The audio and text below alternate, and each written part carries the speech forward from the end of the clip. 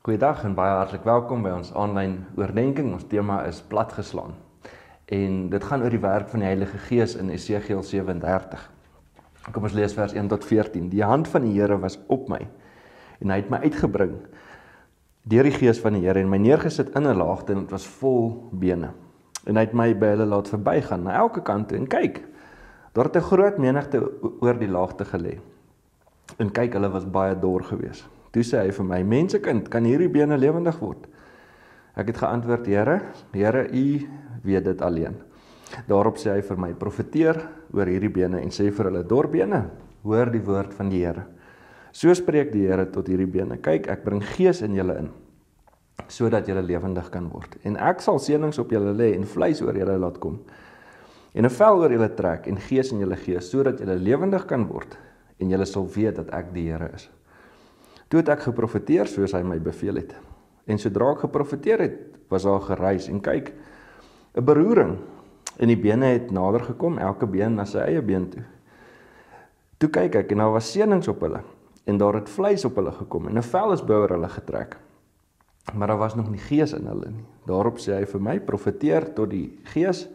Profeteer jy mensekind en sê aan die gees: So sê die Here: Kom aan uit die vier windstreke o Gees en blaas hierdie dooies in dat hulle lewendig kan word. En ek het geprofeteer soos hy my beveel het. Toe het die Gees in hulle gekom en hulle het lewendig geword en op hulle voete gaan staan. Hulle was 'n ontsaglike groot leer. Toe sê hy vir my: "Mensekind, hierdie bene is die hele huis van Israel. Kyk, hulle sê ons bene is verdor en ons verwagting is verlore. Dit is klaar met ons. Daarom profeteer en sê aan hulle soos sê die Here, Here: Kyk, ek sal julle grafte oopmaak en julle uit julle grafte laat opkom, my volk. En ek sal julle bring in die land van Israel. En julle sal weet dat ek die Here is. As ek julle grafte oopmaak en julle uit julle grafte laat opkom, o my volk. En ek sal my gees in julle gee dat julle lewendig kan word. En ek sal julle vestig in julle land en julle sal weet dat ek die Here is. Dit is Esegiel 37 vers 1 tot 14 uit die ou vertaling uit. Wat 'n kragtige beeld van God se gees se werking. Esegiel bevind homself in 'n laagte. Nou die laagte is die plekke waar die oorloop plaasgevind het. Dis waar die roetes was, die paaie waarop die mense gereis het. En ehm um, in hierdie laagte was daar 'n ontsaglike groot oorwinning gewees. Die die bene is die kant van die wat die nederlaag gelei het. So hierdie ouens is nie eers begrawe nie en vir 'n Jood was dit 'n ontsettende groot insult gewees dat jy nie eers begrawe is nie, jou bene lê in die son. En die Here vra vir Esegiel, is hier enige hoop in hierdie omstandighede? En Esegiel is nie eers bereid om vir die Here antwoord te gee nie. Hy sê, "U alleen weet dit, Here." So hier's 'n klomp dood, hier's 'n klomp onreinheid, hier's 'n klomp hopeloosheid en magteloosheid. Hierdie bene kan niks vir hulle self doen nie. En dit was al lank so gewees want die bene is baie dor. Die son het hulle wit gebak. En dan sê die Here vir Esegiel, Esegiel, hier is die krag van my woord en my gees. Profeteer oor hierdie bene en kyk wat gaan ek doen. En Esegiel is gehoorsaam, hy profeteer, dit is God se woord word gespreek oor die bene en daar kom 'n gedruis en al hierdie bene kom bymekaar, dis soos 'n sci-fi movie. En ewe skielik waar daar net do doodsheid was en dooie bene, ewe skielik is hier 'n weermag opgerig. Maar hulle staan net, hulle hulle is liggame, maar hulle is nie vol van lewe nie. Dis soos in Genesis waar die Here lewensasem in Adam inblaas en hy word 'n lewende wese. So nou kom daar gees, ons is liggaam, siel en gees. Nou kom daar gees in hulle in. En dan word hulle wat hulle bedoel is om te wees. En dis wat die Here sê oor sy volk. Hy sê Israel kan net Israel wees en kan net doen wat hulle moet doen deur die krag van die Here se Gees. Die dooie bene stel Israel se verwagting voor. Hulle het nie meer verwagting nie. Hulle het moed opgegee. Hulle is op moedverloorse vlakte. Hulle het nie meer hoop nie. Hulle sien nie meer kans nie. Hulle het nie meer krag nie. Hulle is dood en droog en daar gaan niks aan nie.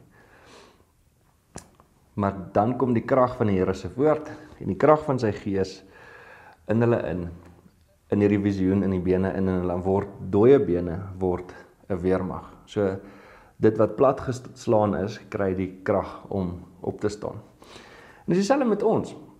Daar's so baie dinge wat verkeerd is in hierdie wêreld. Het ons nog dien ons die Here nog met ons verwagtinge? Is ons verwagtinge net negatief? Verwag ons heeltyd die ergste? Is ons op die uitkyk vir dinge om verkeerd te gaan sodat ons kan sê ja, ek het geweet dit gaan gebeur? Of stel ons ons verwagting in die Here wat sterker is as die dood? Wat sterker is as enige nederlaag, wat enige doodloopstraat in 'n highway kan verander?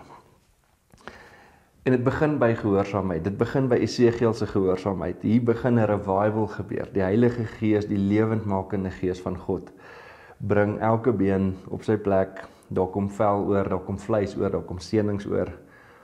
En ewe skielik is daar 'n weermag. Selfs in die swakste, doodste, stinkste plek in ons lewe kan die Here nuwe lewe bring. Kan hy sy opstandingskrag laat geld? Kan hy vir ons hoop gee en moed gee? en kan hy 'n verleentheid omdraai in 'n geleentheid. Wat 'n absolute voorreg dat ons so 'n God mag dien. En dit is die betekenis van hierdie profesie, is dat God grafte oopmaak, dat hy daar waar dood is, waar moedeloosheid is, waar hartseer is, waar rou is, waar donkerte is, daar bring hy lig en lewe en hoop en moed.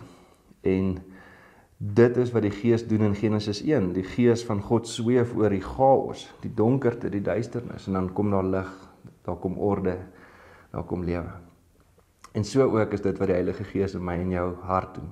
Daar's baie keer chaos en donkerte en droë bene in ons harte, hierdie geraamtes in die kaste wat ons ronddra. Maar die Here kan dit omdraai in iets wat amazing is en wat die moeite werd is, van plat geslaan na opgestaan. Amen. Kom ons bid saam. Dis ons gebed, Here, dat U Gees oral waar daar droë bene in ons lewe is, dat U dit sal kom omdraai en vir ons hoop en moed en krag sal gee. Dat U ons sal troos en dat ons sal lewe met 'n verwagting van wie U is en wat net U kan doen. In U naam bid ons dit, Jesus Christus, ons Here en ons koning. Amen. Baie seën vir julle en ek hoop julle het 'n lekker week. Tata. Free.